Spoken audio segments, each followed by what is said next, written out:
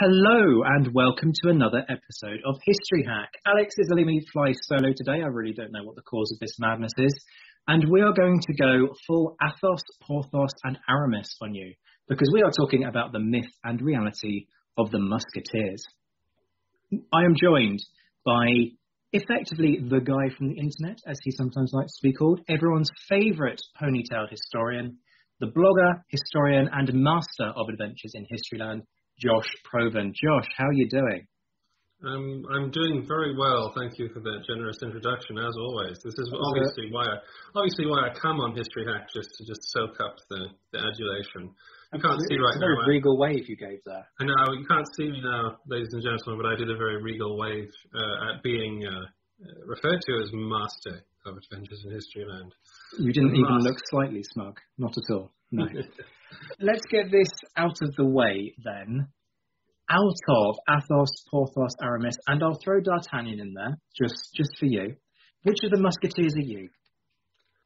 I, and you have to take a turn at this as well if you want to, but this is the game. Uh, I. Uh, okay, I don't know if other people see me as this or not, or what, but I identify with Aramis. I, I wanted to be Aramis. Any particular reason why Aramis and not, I don't know, D'Artagnan? or- Um, okay, so well, it, it, we'll get to the you know my first introduction to the Musketeers at some point later, but without giving too much of the rest of the conversation away, um, uh, D'Artagnan annoyed me when I first saw him uh, on screen. Um, I only got to like him when I read the book, and I didn't see myself in Athos, who is a deeply troubled character. uh, and I didn't see myself in Porthos, who is just an extreme, extraordinarily confident, uh, muscular kind of guy. Aramis is quieter. He's much more thoughtful. I don't think I'm the Lothario type, which I can't, I don't really identify with, which he is sort of spun as the romantic lead of the, uh, alongside D'Artagnan, I suppose. But uh, yeah, I I also also really like the idea that he constantly wants to get out of the Musketeers and become a priest. I thought that was, I just thought he was a fascinating guy, Fair as well as being deadly with a sword. Yeah, see, this is the trouble with me. I'm not deadly with a sword. Uh, I also would confidently predict that I'm a rubbish shot. So on both counts, being a musketeer probably isn't the life for me. I- don't know if that suddenly makes me by default the the incompetent king or the hapless um, kind of peasant. I'm probably not evil enough to be Richelieu. So are, you, um, are you are you putting in for the job of uh, of D'Artagnan's servant Planchet? pretty much. I, I think that's I think that's all that's available to me. I am Planchet. There were other act in the book. There are other servants as well. Athos's servant is actually quite capable. Uh, Now, this wouldn't be History Hack if we didn't stop for a moment and discuss our first encounters with the Musketeers. Everyone knows about the Three Musketeers, hopefully. Um, so, what was your first exposure to them? Did you do the novels first, or did you do the films first? was the films first?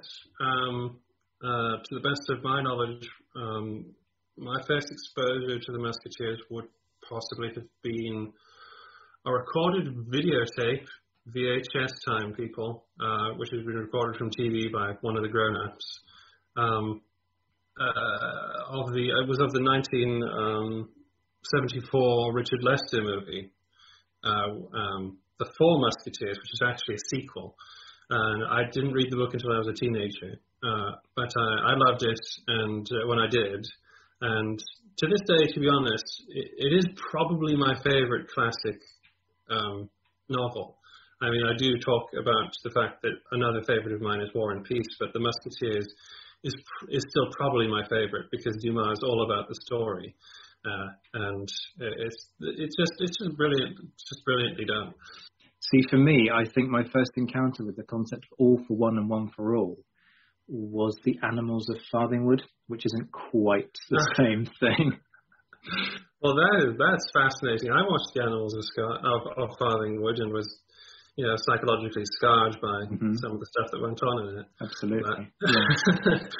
so, which for you is the best interpretation, either in terms of honesty to the novels or in terms of historical accuracy? Which do you like the most out of the films? Hmm. Well, I haven't seen them all. I mean, but I mean, in terms of the question, it's it is a tough call because I mean, uh, how, how do you how do you choose between Mickey and the Three Musketeers and Dogtanian? I mean, obviously those are the top of the the cream of the crop. Uh, such a shame they never made a Muppets version. That would have been that would have been. That's that instantly going to number one, isn't it? There it we go. Have, yeah. All we need to do but, now is put together a TV pitch and obviously a finder's yes. fee, and we'll make tons of money. There we go. We will. The, the Muppets need to do the Musketeers. I mean, they did Treasure Island, and that was that's the best pirate movie. So obviously, anyway, um, despite how fun the cartoons and stuff are, uh, um, it's uh, it's quite it is quite hard because of the amount of remakes there have been. Um, one author joked that it's uh, easier to pick the years there hasn't been a Musketeers film made or Dumas uh, adaptation. Um, uh, but I, so I've seen the 70s ones and I've seen the 90s one uh, with the interesting casting.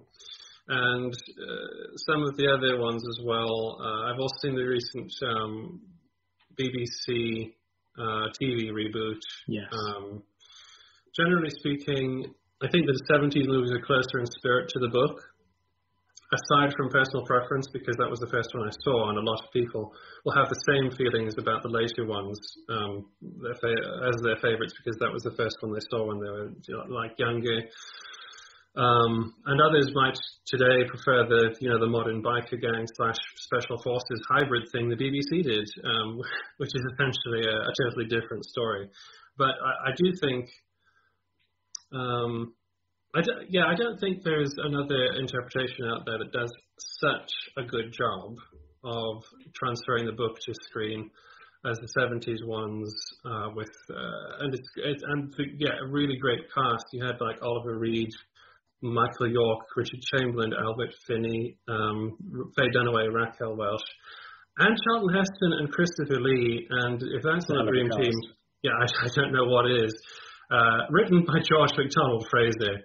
So it's actually quite funny and outrageous as well. And accuracy-wise, um, I think the, the uniforms are actually probably more accurate in the 90s, but there's a lot to like it in terms of look and feel about the 70s ones as well. Yeah, see, the, the first film that I saw was that 20, was it 2011 one with Logan Lerman, where mm-hmm. they effectively strapped the Mary Rose to the Hindenburg and then attempt to blow up Orlando Bloom in the Tower of London. That was genuinely the plot line. If you don't believe me, go away and watch it. So, for the folks who, who think that is the story of the Three Musketeers, break it down for them. What's the original story by Dumas about? The original story was, was serialized by Alexandre Dumas père during the 1840s. It's actually historical, historical fiction, if that makes sense you know, he's he's writing about the 17th century. So this is uh, a great example of what, in quotes, you know, romance writing used to be before Mills and Boon. Um, it centers around the adventures of a young Gascon musketeer cadet named D'Artagnan. I don't remember, to be honest, if we ever learn his first name. Um, and his three musketeer friends, Athos, Porthos, and Aramis, uh, during the reign of Louis XIII of France. Um, there are sequels to The Three Musketeers uh, 20 years after, where you get a couple of new characters and then the uh, Comte de Bragelonne uh, much later. Uh, technically, it tells the story of D'Artagnan's life. Um, but the first book, the famous book, the classic one uh, that we all know of. Um, the core part of the Three Musketeers, which you see in the better screen uh, interpretations as well. Um, uh, the heart of the story is formed uh, so that you see the characters develop as they go on secret missions for the Queen of France and duel powerful enemies who work for Cardinal Richelieu. Um, at its core, it's about friendship, loyalty, and chivalry.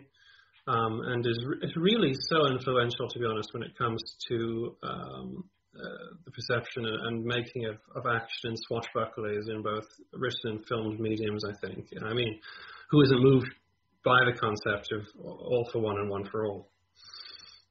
Absolutely. And the, the, the big kind of pinnacle of tension across the whole thing, if I've got this right, is the Queen is accused of spying, and it falls upon the Musketeers to mm. travel to London, recover a piece of jewellery, um, and return it before um, the deadline of a ball, where the King has kind of asked her mm. to wear this jewellery as a to, as a test to see has mm. she um, been responsible for having an affair? Is she spying? Is, is there subterfuge going on here?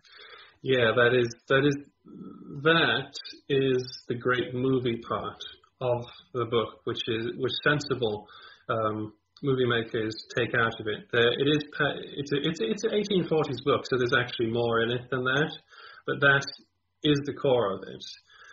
The the Queen of France, uh, Anne of Austria. Confusingly, she's not Austrian. She's of the Spanish. She's Spanish of the Austrian house.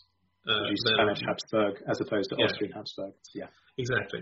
Um, so that's a little confusing, but nevertheless, um, she has has had an affair with the Duke of Buckingham, uh, who is the, the Prime Minister of England, it, I believe, in the book anyway. Um, and uh, she's given him a, a, a present, a, a token uh, of some very, very expensive diamonds that um, the king gave her. The Cardinal Richelieu finds out about this as he does, and he wants to shame the Queen, and because she doesn't like him and he doesn't like her. And uh, yeah, she she calls upon the Musketeers to go and get the diamonds back. In a way, they're the Queen's Musketeers, to be honest, because they're always kind of trying to get the Queen out of a bad situation, um, which you know is very chivalrous of them. And um, they're just ordinary guys trying to get make their way in the world. To be honest, uh, the book paints it, and they get into these extraordinary circumstances because they're in the Musketeers, and that's those are the guys the, the kings and queens of France go to when they're in trouble. Absolutely. So, how do we get to Dumas and the Three Musketeers? How, how are the the actual Musketeers formed, and what uh, what is their purpose? Right. So, in in 1622 King Louis XIII reorganized his father's old corps of uh, carabiniers, uh, which is, is, an interesting name. I believe it refers to rifle. Um, and I think that might mean that this old unit carried some kind of rifle, but I'm not completely certain. Um, but he armed them with muskets, which uh, people are a little confused about because theoretically that's a less effective weapon, but maybe in 1622 it was actually more reliable. I don't know. Um, so he arms them with muskets, and in so doing, effectively creates a new corps within the elite body of the um, the, the Maison Militaire de la Maison du Roi. Um, which, and the first creation of the King's Musketeers was quite small. The company the numbered is only 100 men, and in many ways was more typical of the types of bodyguards um, uh, bodyguard units that all important men in France were entitled to maintain at the time.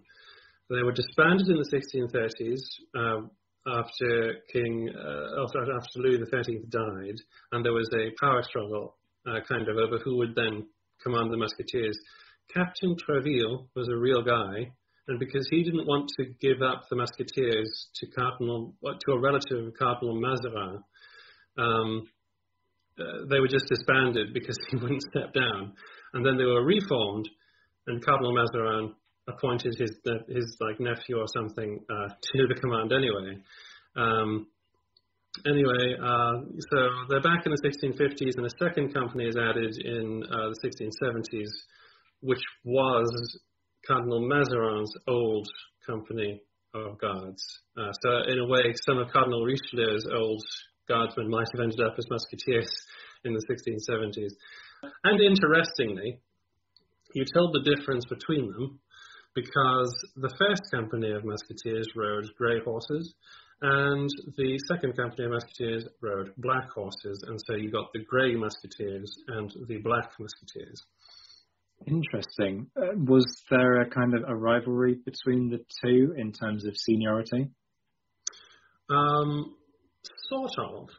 Yes, uh, by this, by the, certainly by the time of Louis XIV, because there's a great story about how his, I think it was his grandson, the Duke of Burgundy, uh, one of his relatives anyway, his younger relatives, wanted to be a musketeer, and uh, word got around to the musketeer companies that one of the king's close relatives wanted to be a musketeer, and so the two musketeer companies started to get antsy with each other about outperforming each other and like brawling with each other about who was going to get the Duke of Burgundy.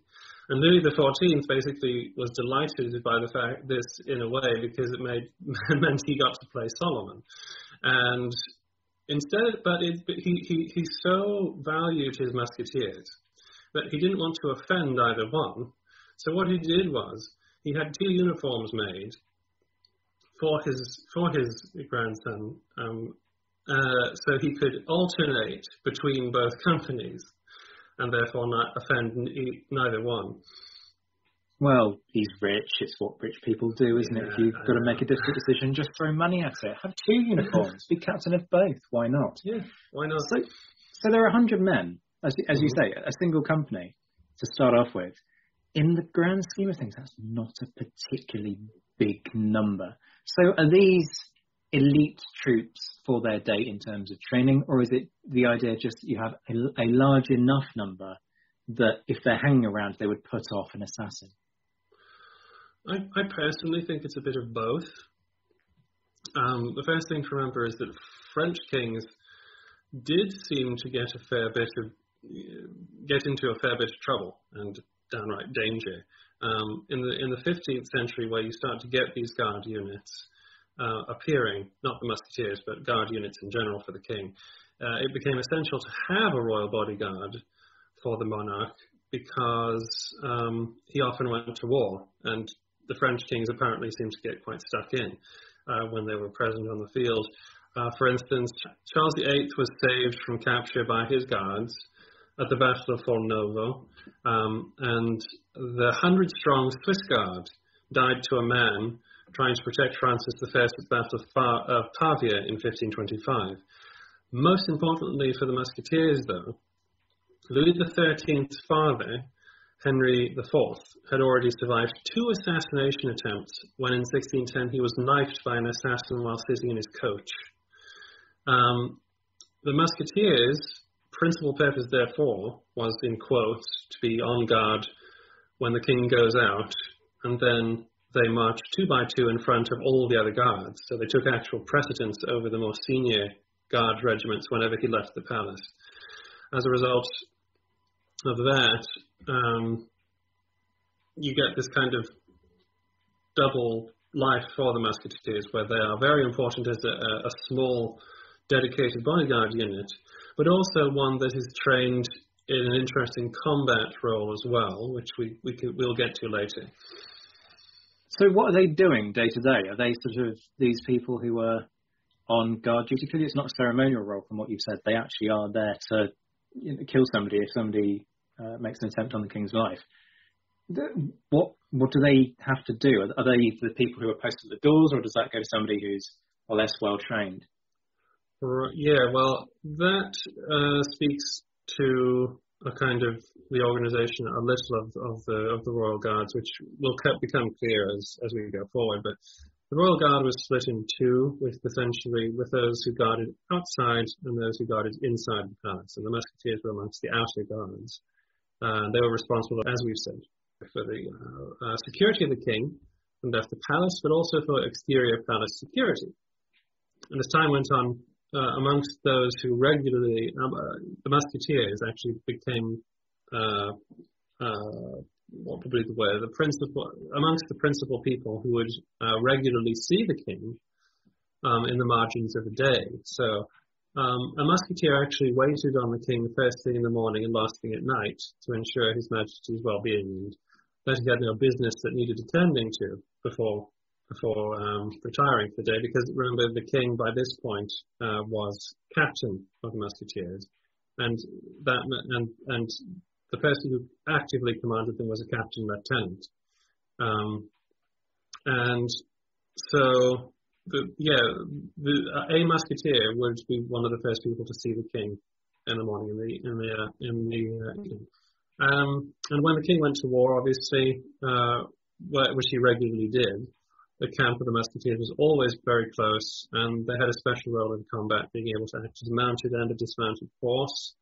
Apart from that, guarding duties and stuff, they um, they train a lot in, in riding and um, uh, some theoretical aspects of science and the art of war, foot drills, the handling of arms. Uh, again, the, the captain of the musketeers is literally the king after a point, sir, and especially under Louis XIV, uh, the, who, who actually inspected them once a year.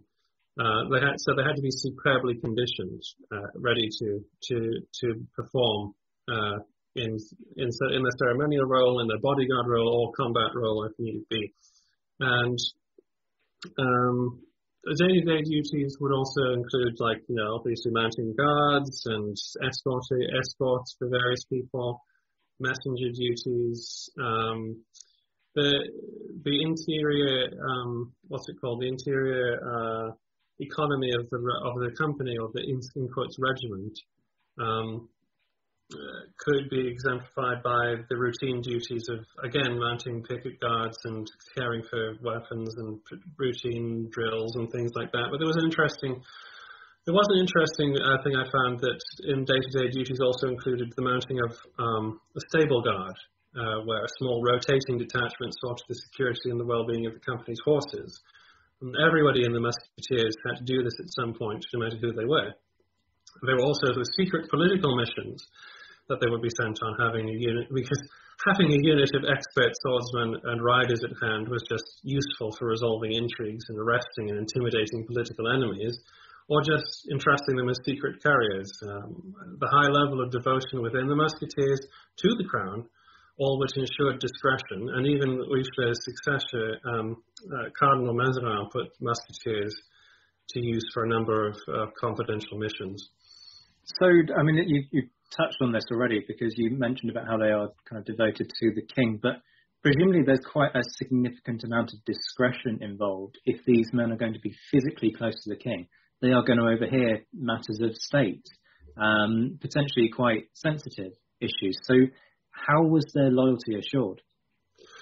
Their, their loyalty was assured because they were drawn from the ranks of the lesser nobility and gentry generally people who could just about pay to be a royal guard. And we'll get to, I guess, the, the nuts and bolts of that a little later. But what that does is the king is offering his patronage um, to people who would not normally have a place in in high society.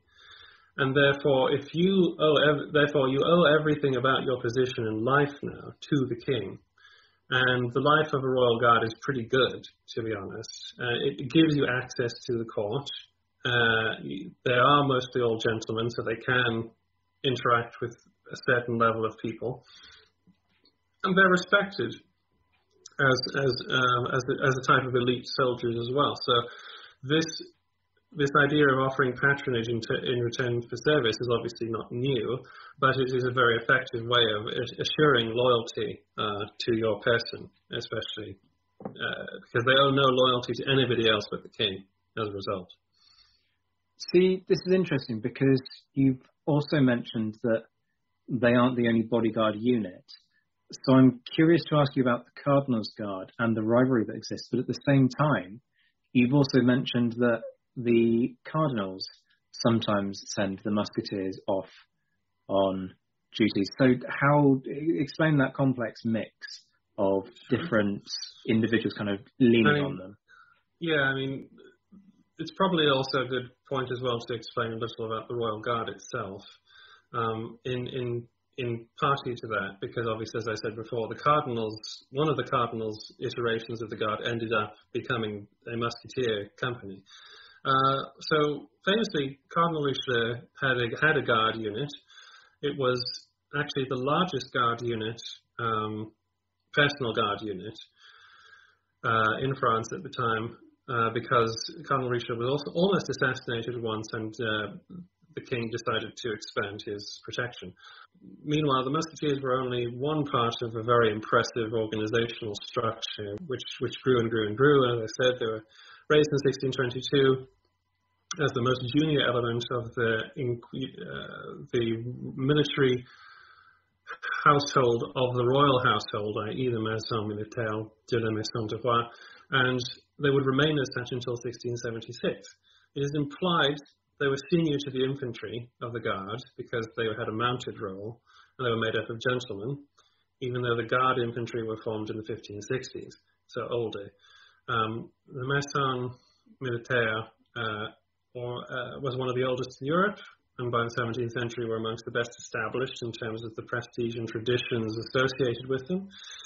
England, for instance, had no royal guard to speak of until the late 17th century, uh, where and and the French ones were amongst the yeah just the best established in terms of prestige and tradition, definitely I think, uh, except for some Swiss units I think hanging around the Pope. Uh, even and even the French king had a Swiss guard, so there's no you can't compete with the Swiss for traditions of guarding important people. The most senior, as I said, were the cavalry, the oldest of which was the first company of the Garde du Corps, which was known as the Garde d'Ecossais, because they were formed in 1440 from Scottish soldiers of fortune in French service. The Garde Française were the infantry formed in the 1560s, with a Swiss Guard added uh, by Louis XIII in 1616.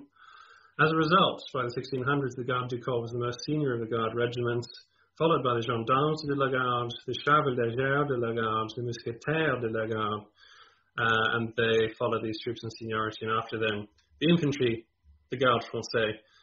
The expansion of the household troops under Louis XIV from 1676 to the, uh, the Grenadiers de Cheval de la Garde, as well as the Grand Reserve of the Gendarmerie de France. You see what I mean about the ridiculous the just ridiculous size of this of this organization. This is making my head hurt, if I'm being really honest with you. And this speaks to what you were talking about before about the duties of guarding doors and stuff, because there was the Cent Suisses, which is the hundred Swiss who are palace guards, right? And then there's the Gardes de la Porte, who are door guards. uh, so there are ceremonial interior palace guards as well as large bodies of, of, of like essentially combat and protective troops outside. Um, and uh, uh, the units, the, I mean, the and the, and within them you get special detachments of men like that single musketeer who sees the king at the beginning and the end of the day. In the Garde du Corps, there was a special team of guys called the, the Garde de la Manche, or the, the guards of the sleeve, because they walked so close to the king that they brushed his sleeve. And there was at least two of them always around him, even when he was at prayer. So, and and you have to understand something about the way things worked as things as as the institution of Versailles and stuff came to into being, about how regulated the king's life was, uh, and and all the traditions that sort of flowed into it. Now, that gives you a, an idea of where the musketeers sit, right? They're right in the middle, but ridiculously close. And as I said before, they're very useful because they're a little bit more scrappy than the other guards, right? They're exterior palace guards. They're, they're die-hard loyal to the king. They're the souls of discretion. And then you have the personal guards of Cardinal Richelieu. And in the 1620s, those, the musketeers and the cardinal's guards are the two most visible and they feel two most important guard units in France. And there already you have bang on collision. So it gets, you know, a bit hairy. And uh, I'm happy to say, and a little sad to say at the same time, that the rivalry you get between the Musketeers and the Cardinal's Guards is 100% real. It did actually happen. And um, the the secret mission element of the Musketeers just so happened to be seen as incredibly useful by people like Cardinal uh, Mazarin, uh, who succeeded Cardinal Richelieu um, as head of state after the death of uh, after both uh, he and um, Louis XIII died. Um, and Mazarin is known for having. A, I mean, I know one example, but I don't know the details of the story very well. He actually used the real D'Artagnan. Now, D'Artagnan was actually a real guy, Charles Batz de Castelmore, Comte d'Artagnan, Ah, who became captain lieutenant of the Musketeers, and died at the siege of Maastricht in, I think it's 1671, um, but I'm a little unsure on that. I'm sorry if I got it wrong. Standing next to the Duke of Monmouth and the future Duke of Marlborough. Isn't it They- funny how all of these things coalesce? I know. Uh, but he, he, he was actually used in that period where the Musketeers had been disbanded by Cardinal Mazarin for several secret missions and uh, arresting some, some people that enemies of the state and stuff like that because the, he was a Musketeer and the Musketeers were known to be by this point as just dependable guys who would do what you asked them to do in the, in the name of the state. So the rivalry between the Musketeers and the Cardinals Guards, how serious does it get? Because you have duels that happen. Are, are these just kind of arguments that get out of hand and they have little scraps? Is it more like the 18th century kind of honor-based private duel, or is it a little bit more kind of sinister and mafia-esque in nature?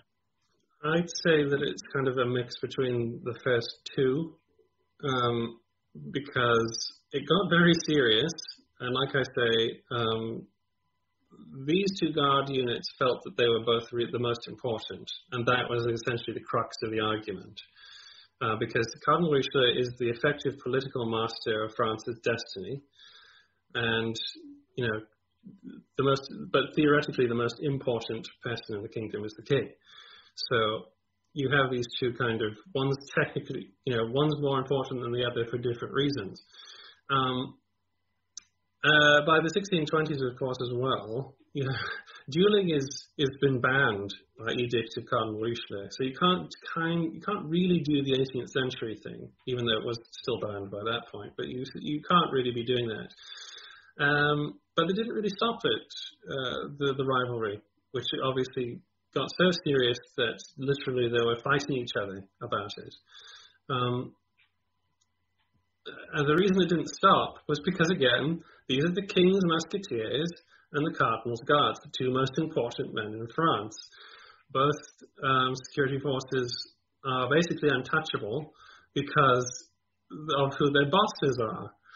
Uh, this allowed the cardinal's men and the musketeers to conduct their rivalry in full view, though it was generally an informal matter. You know, by this time, a simple cat call from a musketeer to a guardsman was enough to see swords drawn in the street, and and gangs of the two units would would set to at the sight of each other sometimes. Um, and the cardinal and the king secretly enjoyed hearing if their side had won in the latest brawl, and let it go on despite being totally illegal.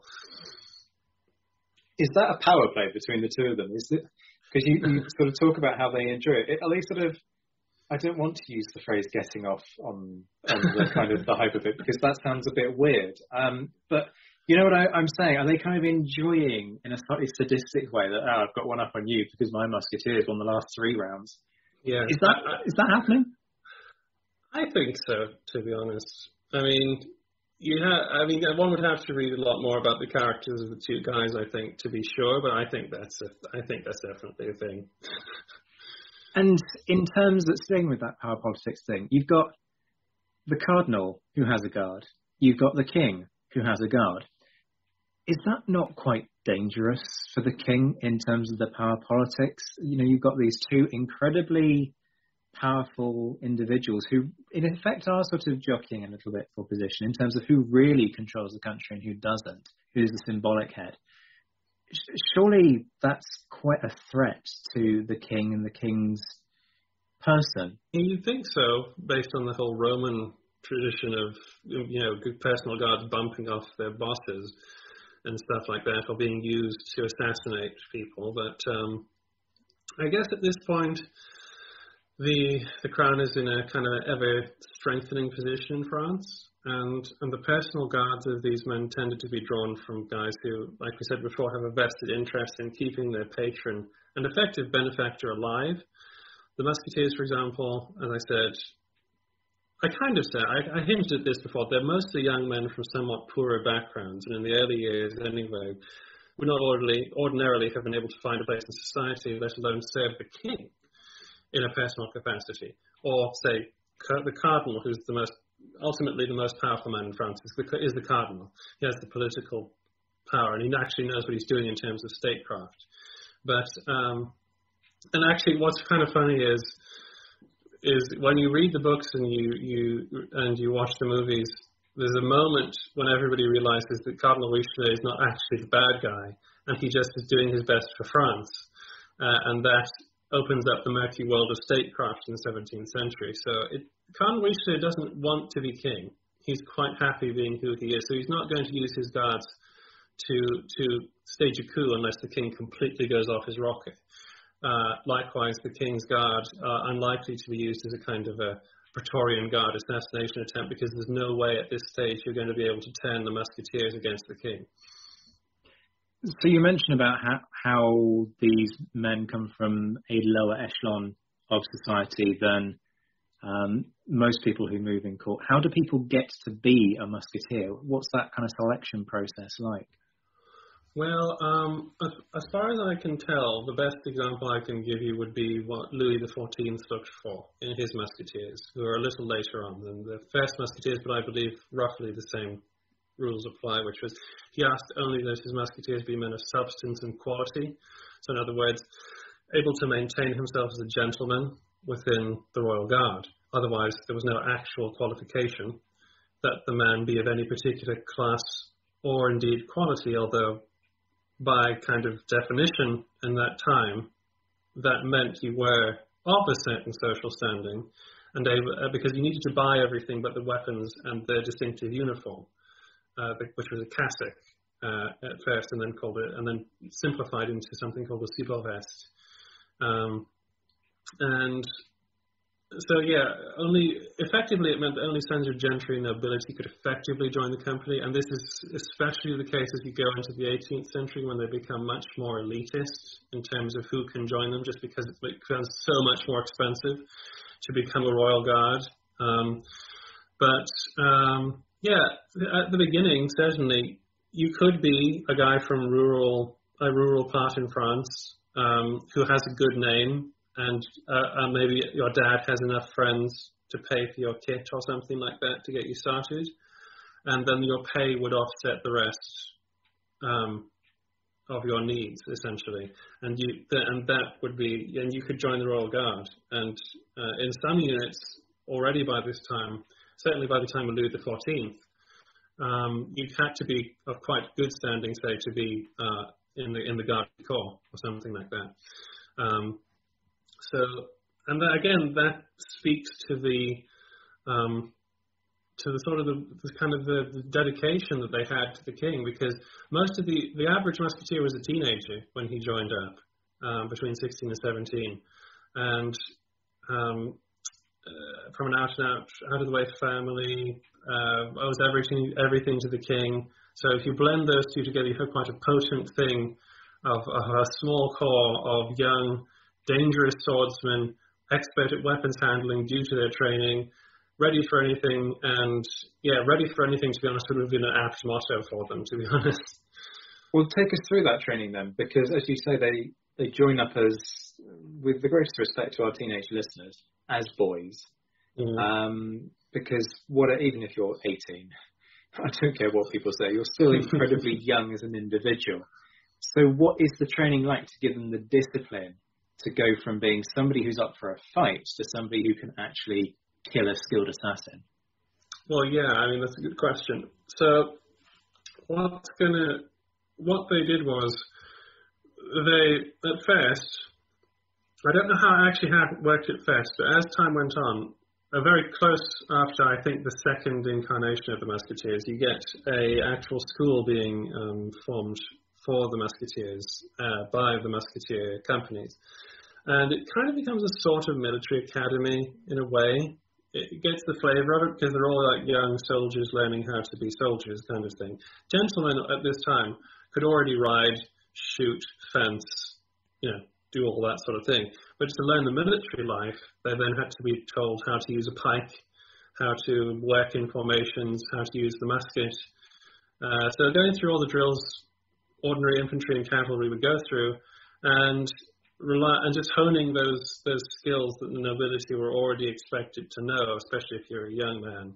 Um, and they probably and, and and what happened was as time went on, older musketeers would take the job of training the younger ones, and and so on, and it just sort of helped perpetuate the, the strong traditions of uh, sort of excellent excellence in excellence in arms amongst the regiment. So, what role did the musketeers have on the battlefield? Because this is, again, as you've touched on before, an era when kings are still present on the battlefield. You've mentioned how actually some of these kings like to kind of get involved to a greater or lesser extent.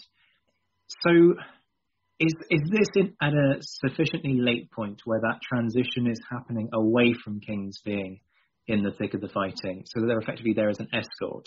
Or do they actually get their hands dirty, if you will, and play a key role? A bit like we see some um, guard units kind of playing an active role as elite troops in battlefields, in battles later on.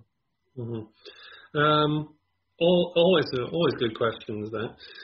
You are seeing a transition away of, of uh, from from kings actively taking command roles on the field because they recognize that that's just a pain in the neck for their generals because a king on the field literally outranks everybody else.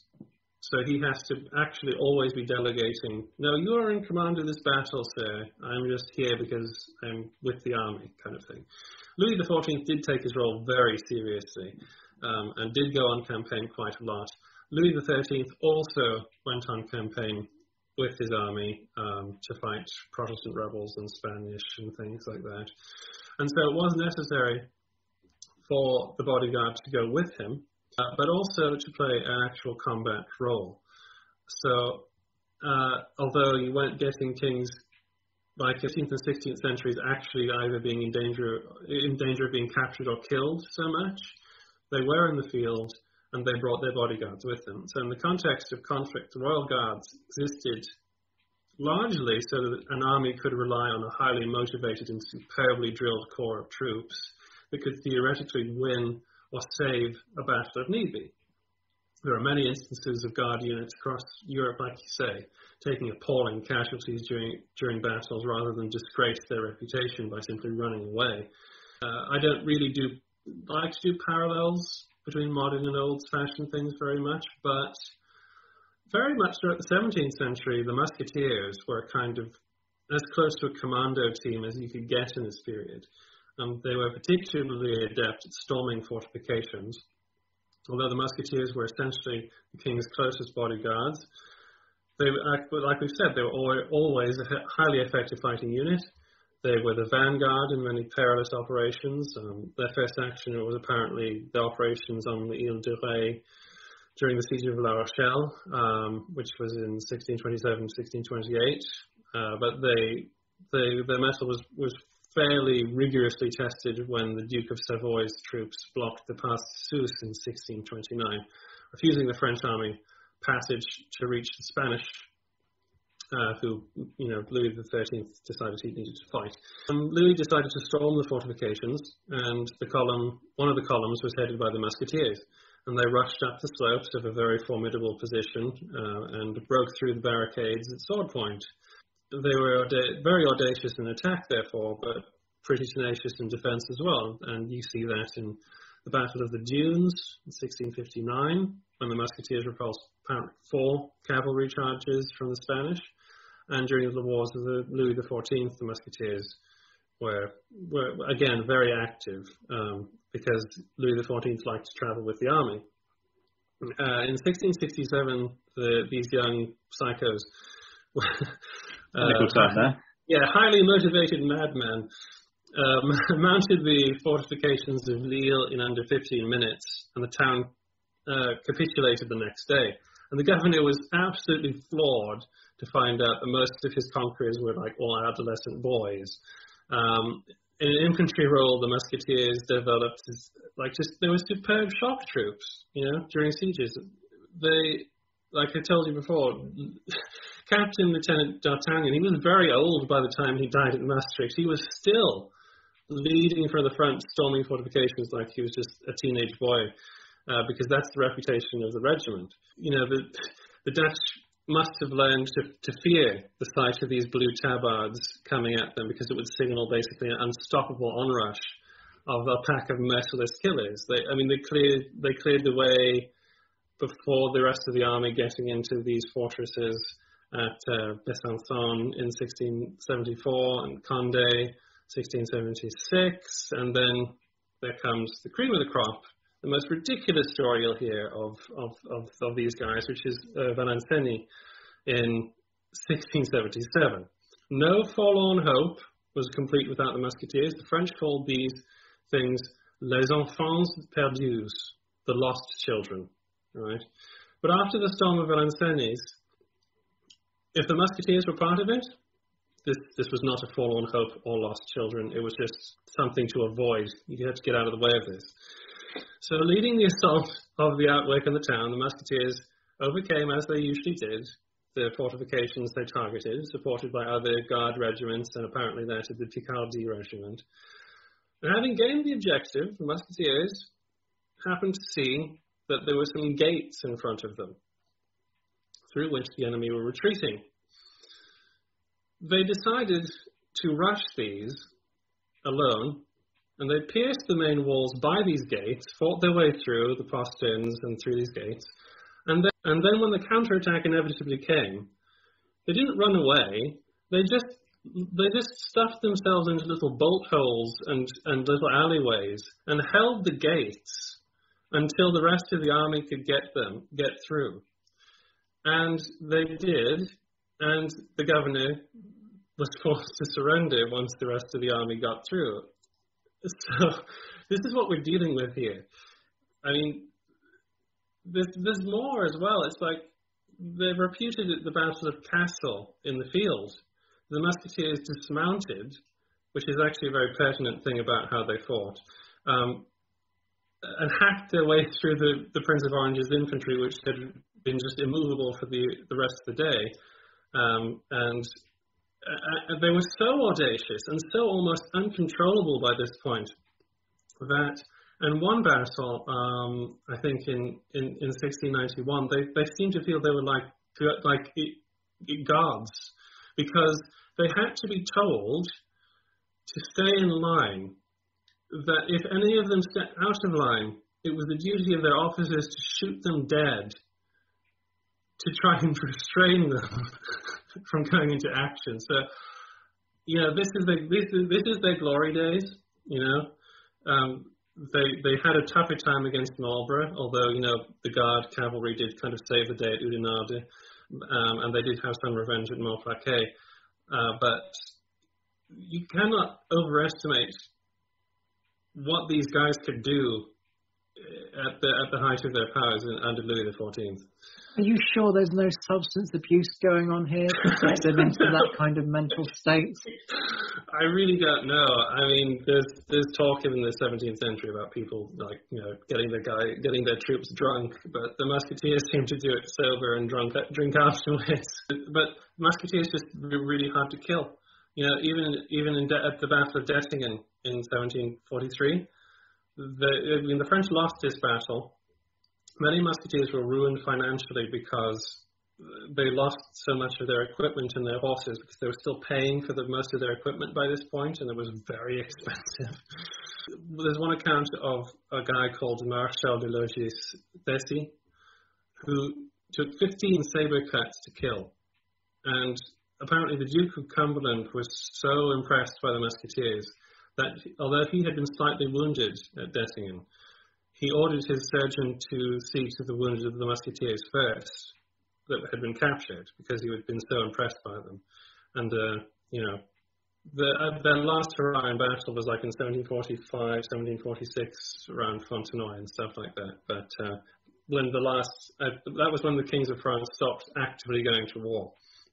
So, mm. I mean, mm do what you want with this. Do what you want with this because it, it's pretty hard to believe, but apparently it's it's it's something.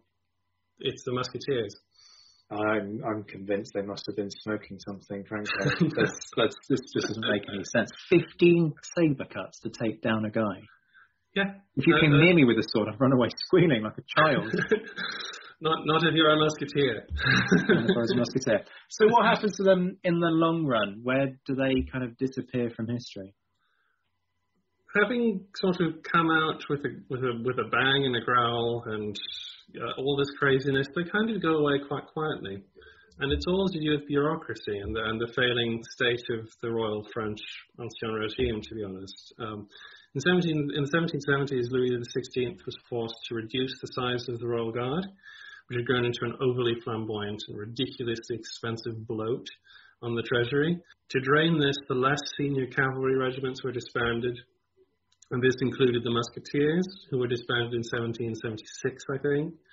Um, uh, by the time of 1789, only the Garde du Corps, the Garde Français, and the Garde Suisse were still in the service, and of those, only the Swiss stayed loyal when the revolution came, with the majority of them dying in defense of the Tuileries in 1792.